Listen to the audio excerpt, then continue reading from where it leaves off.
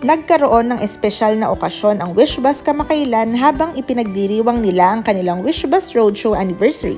At kasama sa mga featured artists nila ay walang iba kundi si Pablo ng SB19 na talaga namang suki na ng Wishbus mapa dito sa Pilipinas o sa ibang bansa. Sa kabila ng pagiging weekday o araw ng may pasok, ay hindi nagpapigil ang mga supporters ni Pablo at dinumog pa rin ng tao ang lugar sa Eton Centris para masaksihan ang kanyang performance. Maaga pa lamang ay nag-aabang na ang mga tao sabik na makita ang kanilang idol. Isa sa mga pinakamasayang bahagi ng event na iyon ay ang pagkakataong mamit ni Pablo ang kanyang batang fan na si Mateo na dumaan sa pitong operasyon. Isa sa mga pangarap ni Mateo ay ang makita si Pablo ng personal at nangyari ito sa Wishbus.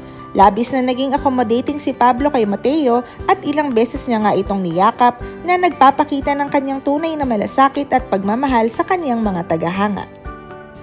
At syempre, hindi rin nagpahuli si Pablo sa kanyang performance kung saan muli siyang nakapag-set ng record. Ang kanyang live performance ay umani ng kabuang 6.4 million likes online sa livestream nito. Isang bagong milestone sa kasaysayan ng Wishbus Live.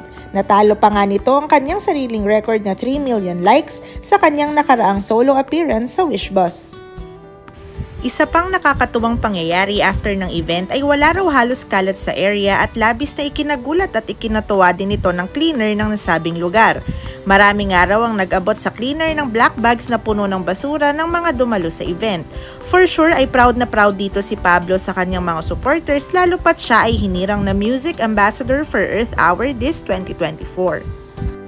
Talagang walang makakapigil kay Pablo sa pagpapasaya at pagpapahanga sa kanyang mga supporters at patuloy siyang magiging inspirasyon ng marami.